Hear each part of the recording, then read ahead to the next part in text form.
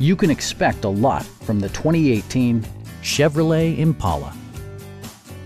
This four-door, five-passenger sedan just recently passed the 50,000 mile mark. It features an automatic transmission, front-wheel drive, and a refined six-cylinder engine.